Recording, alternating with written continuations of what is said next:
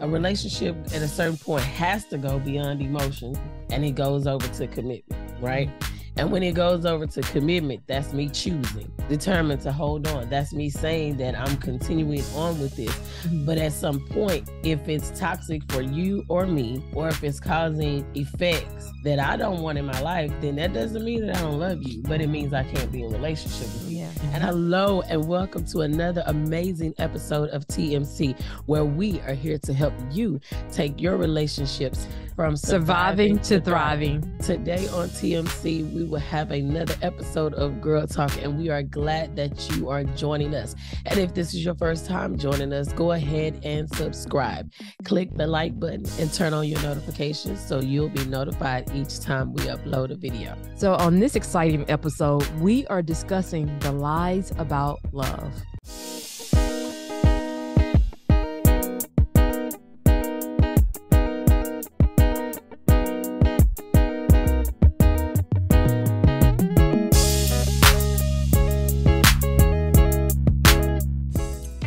To discuss the lies about love. You said you had a question. I do. I do. I have a question. You know, there's a lot of things people tend to say about love and mm-hmm. things we pick up from just conversations and the, the, old people in our lives. But one of the things society says is that love is blind. Mm. Do you mm. believe that's true? I would say no. Okay. People say that because of whatever their perspective is. But I don't think love is blind because when we think about someone being blind, being blindfolded, mm-hmm. being blindsided, that's something you can't see. True. So that's like saying love I can't see. Mm. Love that goes without vision because a person has to be at a certain level visually for them to be declared blind, which means they can't see. So I I disagree. I don't say that love is blind.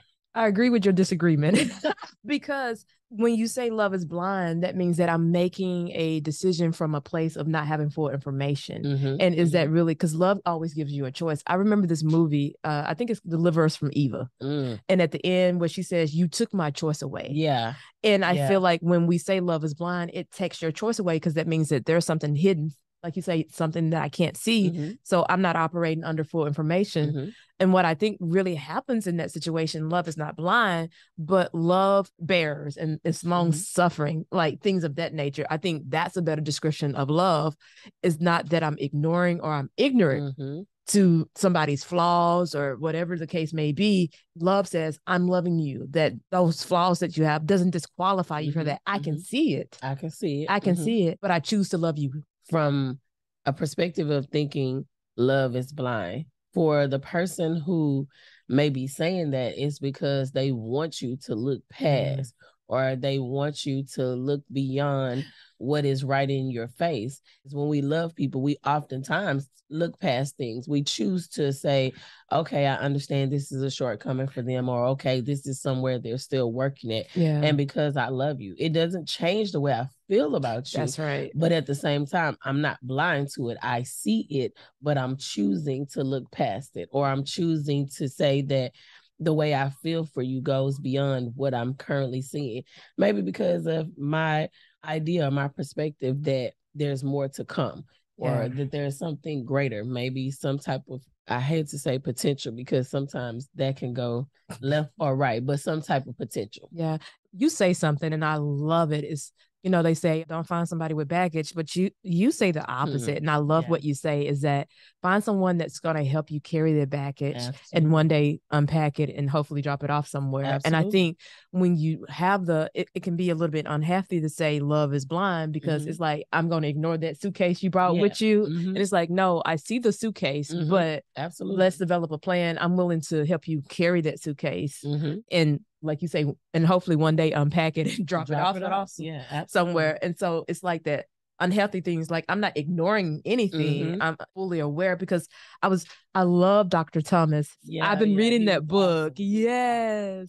He was awesome. I've been reading the books. I, I was like Cedric. I went to a seller and got the book. Yeah. But one of the things he says is that healing can occur when we take things from the subconscious to the, to conscious. the conscious. Oh yeah. And I think that love is blind. It leaves it in the mm-hmm. subconscious, mm-hmm. But to really function in a healthy, holistic manner, mm-hmm. you mm-hmm. have to take it to the conscious and to say love is not blind. Absolutely. And the fact that you brought up Dr. Thomas Jordan, one of our amazing guests, he mm-hmm. said it multiple times. And that's what stood out to me. One of the big things that I took away from that interview, everything he talked about was you being conscious about it. Mm. And this idea of love being blind, to me, that's like if I could see it, then I'm choosing to be unconscious or operating in the unconscious, like, oh, this didn't happen. No, I see it, I'm conscious of it, I'm paying attention to it, but I'm choosing to give grace at this moment. I'm choosing to yeah. say that, you know, I believe there's more to you, or there's more to the situation, or there's more to come, or you're still working on it, mm-hmm. whatever it is. And I think when he said that in so many different ways, operating from a conscious level, knowing what you know mm-hmm. and holding on to that, using it as research to make decisions, to make choices, using it as information because that's what it is. Yeah. Thinking about Dr. Thomas, that's all I could see or remember from that interview over and over again is to be conscious. And that's the same way I would think of it if someone is saying love is blind. I get we have all these, and we'll talk about some more of them. We mm-hmm. have these terms and these things that we say about love, especially when there's a negative outcome mm-hmm. to the mm-hmm. situation. Mm-hmm. It's almost like that's my j- get out of jail free card. Jail. It's like the one that says love me unconditionally. And I think that is truthfully stated. But I think a lot of times when people say that, it's just what you were saying is mm-hmm. I don't want to have to deal with the consequences of my actions. Absolutely. Because I can love you unconditionally, but you still gonna have to deal with the mm-hmm. consequences of whatever the outcome is. Absolutely. Because loving you unconditionally means I'm loving you without condition. Like I'm gonna love you as long as I got the house. I'm gonna love mm. you as mm. long as you got the money. That's that's a condition. I'm gonna love you as long as we travel in the world, or whatever it is. As long as I'm the one benefiting, I'm gonna love you. That's a condition. But then when we think about everything that we discuss, and like I said, oftentimes using it as a scapegoat, mm-hmm. it's that person not wanting to deal with their consequences yeah. to their actions. It's that person not wanting to feel the repercussions to the choices they made. Even when we were kids in school, we learned cause and effect. There's a cause, and now you're dealing with the effect, but we try to turn it into other things.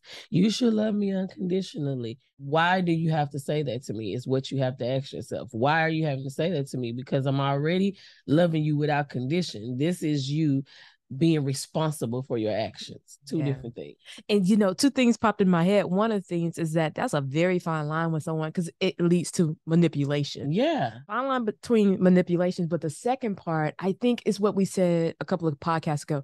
I think people are not using the right verbiage sometimes mm-hmm. because I think there's a difference between the relationship and me loving you. Mm-hmm. Like something may be a deal breaker in a relationship, mm-hmm. but that doesn't mean I still don't love you. Mm-hmm. mm-hmm. That my love for you doesn't change, but how I relate to you may have to change Absolutely. because of your behavior or your actions. Absolutely, because you can definitely love a person and not still be in relationship with them. Yeah. Because a relationship goes beyond emotions a relationship at a certain point has to go beyond emotions mm-hmm. and it goes over to commitment right? Mm-hmm. And when it goes over to commitment, that's me choosing, determined to hold on. That's me saying that I'm continuing on with this. Mm-hmm. But at some point, if it's toxic for you or me, or if it's causing effect that I don't want in my life, then that doesn't mean that I don't love you, but it mm-hmm. means I can't be in relationship with you. Yeah. And I think that's true. I think that people connect them together because a lot of times, and what we're talking about is that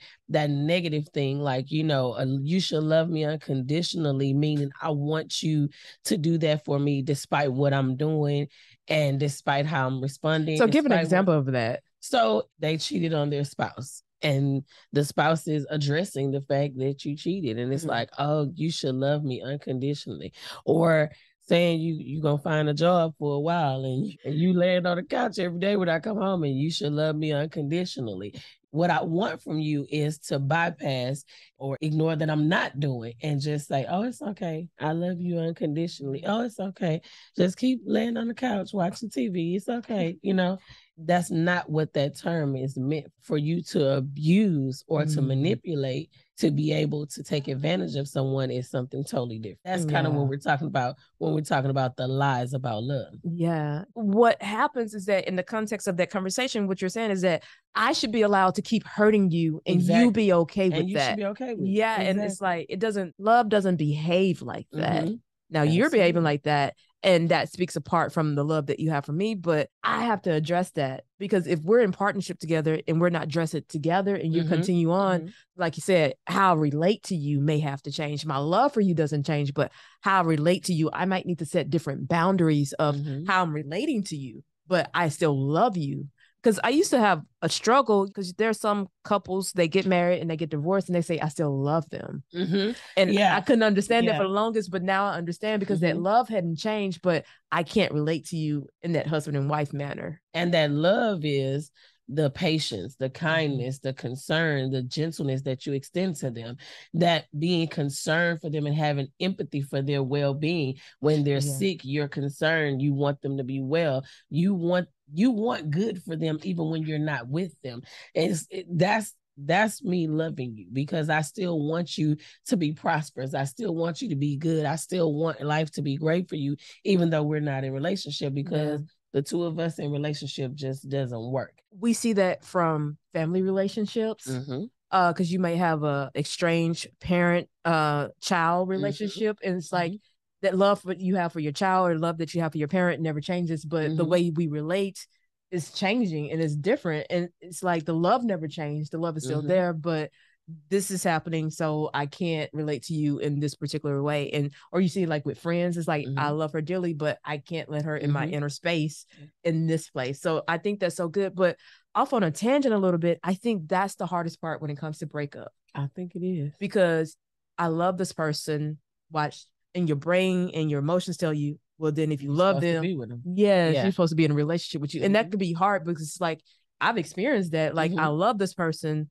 I want to relate to you, but we can't relate in a healthy way. Mm-hmm. And that makes the because your brain is like, you love them, so you should be together. Mm-hmm. It's like it don't always it don't always happen like it that. it doesn't. It doesn't. And I think that goes back to the consciousness. That's mm when that consciousness comes up and you, you're like, you're aware that I love this person, but to continue to be in relationship with them is toxic for both of us yeah. or it's toxic for me is hurtful to me because the other person whomever they may be they may be fine and I'm okay with our relationship continuing to rock like this. What's your problem? We mm-hmm. good as far as I'm concerned.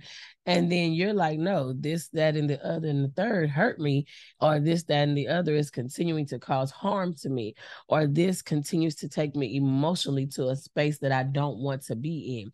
And when you say that, then it's like, oh, well, then you don't love me. No, that's not true. I love you, but the consequences in our relationships is far beyond what we can bear. You mentioned something earlier that I say about baggage, and I mean that wholeheartedly because I believe that most of us, all of us, we have some type of baggage, whatever it is childhood trauma, drama, whatever we have brought past relationships, we bring that with us. And that baggage is there. But the awesome, wonderful thing is to be in relationship with someone that can help you carry that baggage, that makes that baggage a little bit lighter. And then along the way, that person lovingly challenges you or they mm-hmm. lovingly nudge you. Let's open that bag.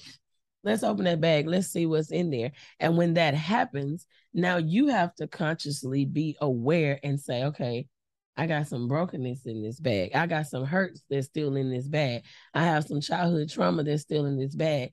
And you may not want to pull all of it out at one time, but you have to begin to look at those things so that you can unpack that and yeah. you can take it off or at least be aware of what's in the bag. Yes that was a, a quote. I think I told you this, and I didn't realize I was still doing this. The quote is that I refuse to set myself on fire to keep other people warm. Mm-hmm. And I think sometimes is that we will continue to be hurt in an unhealthy relationship because I'm trying to love them unconditionally. Because mm-hmm. it's like we're trying to measure love. Mm-hmm. It's like mm-hmm. we're trying to measure this mm-hmm. abstract mm-hmm. concept. Mm-hmm. Can you really quantify love? People say, well, if you did this, then you're loving me unconditionally. And that was where the conditions come in because we're trying to put a measure on something. So you're supposed to love me unconditionally. Let's come back with proper communication. What does unconditional mean to you? Mm, yeah.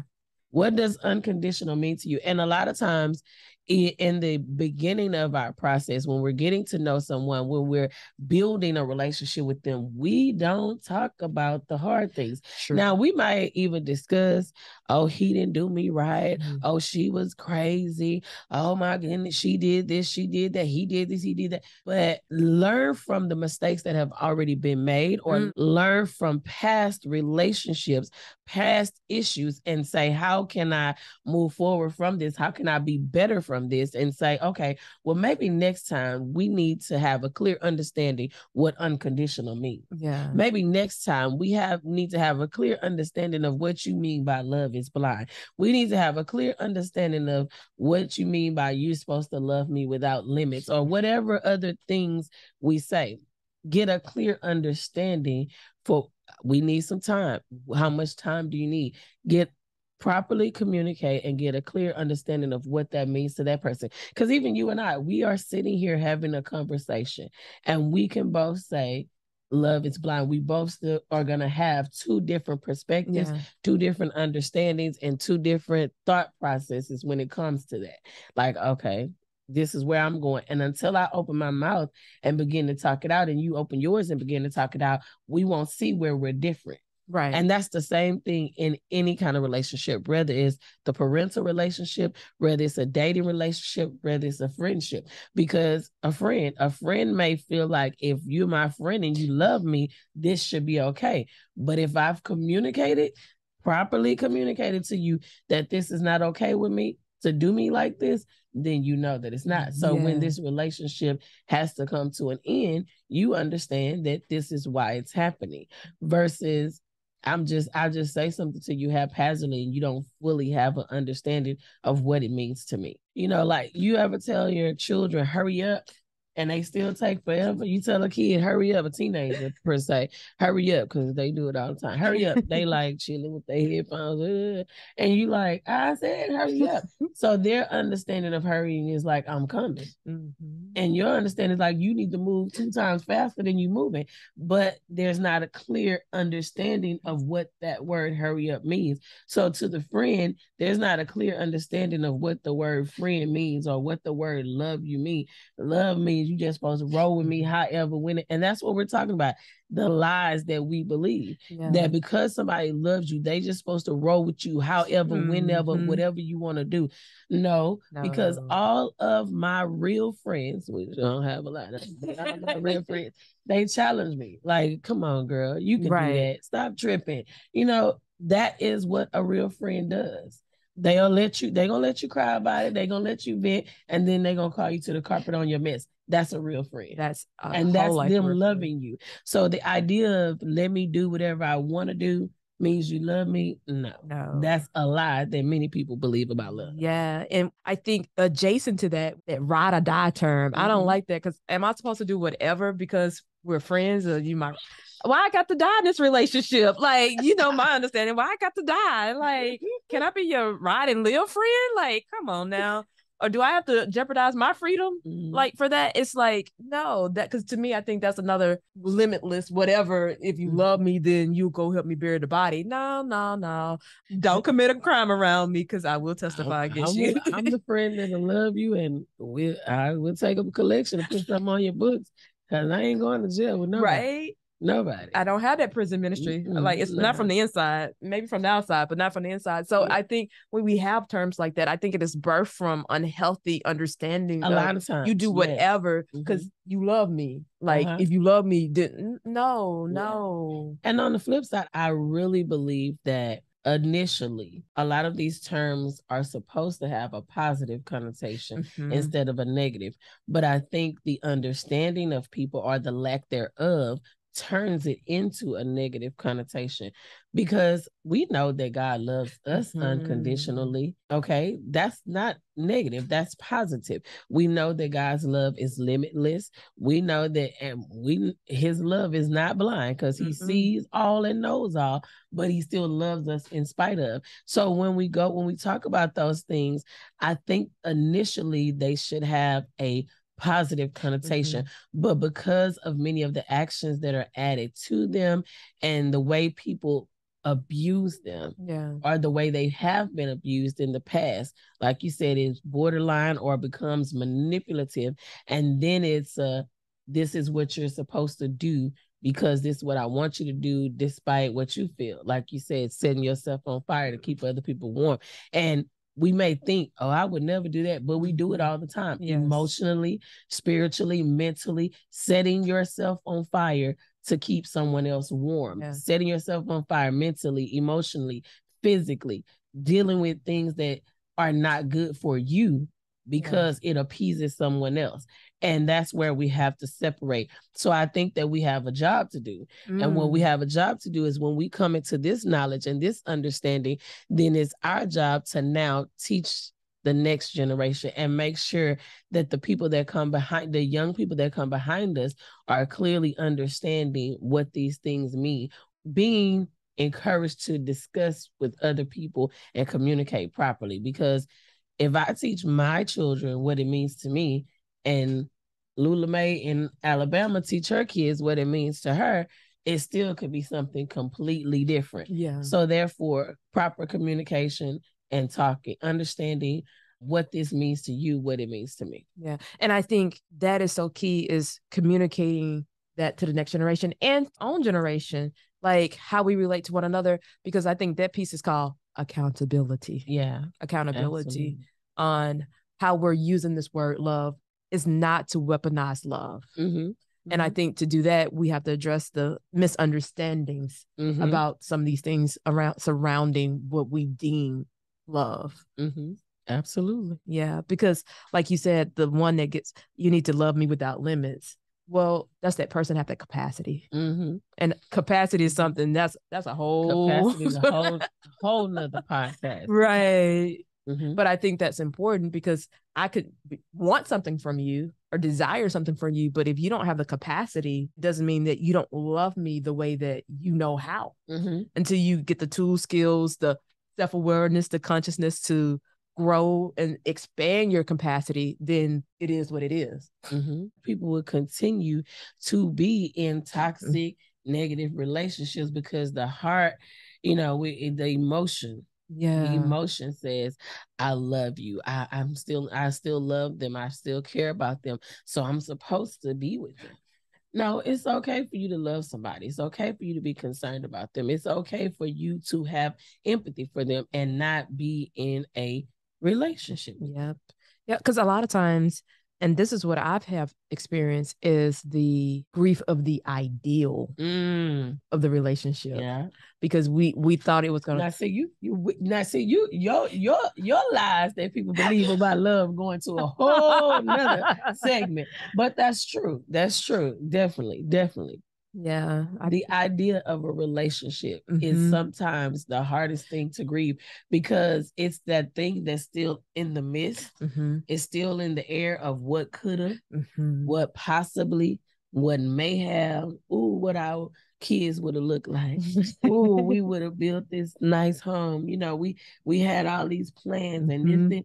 That's what I think it is. And I think that the the idea that's still in the midst of the unknown mm-hmm that's the part. So definitely grieving the possibility yeah. of a relationship or the idea of a relationship, what I thought mm-hmm. was happening and it didn't go that way. That's I think that's definitely emotionally and mentally more difficult than actually releasing someone from a relationship because it's like we were on this road trip and mm-hmm. all of a mm-hmm. sudden poof the car just disappeared right and now like what, what? because you know what i think the healthy part and what has helped me personally like move and I, and I don't really like the word say move on but like heal and reframe that experience is that I don't have to grieve the ideal what I have to grieve is that this ideal won't be with that person, but I still hold on to the ideal of the relationship that I want mm-hmm. is still possible. Because what grief says is that there's no more possibilities. Mm-hmm. And so, what you have to do, what I have chosen to do, is say there's still possibilities. It's just not with this particular person. Even though things were not or did not pan out with this person, that doesn't have anything to do with everyone else. And that to me could be rather it's romantic, whether it's a parent, whether because some of us we we won't have the type of relationships we desire to have mm-hmm. with our parents that that won't happen or you won't have the type of relationship you did you started out with your high school friend y'all were mm-hmm. best buds but now you're both in your 30s or your 40s and it's like uh, this we're not on the same path because we're not planted in the same field anymore. Right. the seasons of my life have changed and i'm somewhere else. If that's what you want to do then our lives are planted in mm-hmm. two different fields and i we both have to be okay with that. So i'm grieving that this is not going forward with you mm-hmm but I'm open to the fact that it still could happen with somebody else. Right. Yeah. And that's friendship, romantic. Yeah. So when we talk about lies, lies about love, love, this is so much to talk about. Mm-hmm. And it has so many facets to it because again, we're all human beings and we're doing this thing called life. And each and every day, all of us have a different understanding of what we believe certain things mean. We all have a different view on things. We've all experienced things mm-hmm. differently. So we respond to them differently. And when we forge forward to build relationships with other people, then we're pulling them into what we believe, what we think, and how we feel. And sometimes that's not properly communicated. Yeah. So you're on the playing field of my ideas but you're not mm-hmm. even aware that you're on that playing field. Yeah. It all goes back to understanding because you hear so many people say that one of the most important things about building healthy sustainable relationships is communication proper communication yeah proper proper, proper yeah it has healthy have, communication it has to have yeah it has to be proper it has to be healthy because i mean we communicate in every way you communicate with your body communicate mm-hmm. with your mm-hmm. eyes you communicate with your tongue with your pitch with your words you you communicate in so many different ways but it has to be healthy, yeah. proper communication. Mm-hmm. You okay? I'm fine. Yeah. I'm communicating that I'm not. no, note, I'm not fine. Yeah. but yeah, you're saying we're communicating, but it's to understand. And you know, you've seen those couples where he'll she'll say one word and he knows exactly, but yeah. like, it's not a good time to ask her that. Or, Absolutely. Yeah, let's we're gonna wait mm-hmm. till after dinner to ask him such such. And it's like because it's like understanding they've, they've that. gathered mm-hmm. that understanding and mm-hmm. sometimes it takes time to really it definitely does it definitely i i believe it takes time because the people that love you and that are in relationship with you for an extended period of time they don't even it doesn't have to be romantic you mm-hmm. have friends that know when a certain word is said, "Ooh, hold up, baby, you know, you all right?" Right. they know. To me, that's all a part of love. That's yeah. all a part of growing together, and that's how it goes. Yeah. Beautiful. So moving forward, when we address and confront the lies of love, mm-hmm. we can mm-hmm. move forward in a healthy, constructive way, not just the romantic ones, but all relationships because sometimes you know people just focus on the marital relationships yeah, but i feel like especially as an unmarried person that I'm getting the practice on all y'all. Yeah we want every relationship right. That's why i say relationships mm. from surviving to thriving. We're here to help you take your relationships from surviving to thriving. Don't just we def we never want to listen. I mean, we may be talking about it in a romantic way, but never everything that you learn can be applied to multiple areas of your life because it works. We're human beings, we're people. It works. Yeah. Mm-hmm. Conversation. Absolutely. Yeah. Well, we have enjoyed another amazing episode of Girl Talk, and we thank you all for joining us. And if you enjoyed this video, go ahead and subscribe. Click the like button. Go down in the comments and tell us which part stood out to you the most. Share any lies you think that people believe about love. And if you're listening on iTunes, rate the podcast and leave a review. That helps us get the word out.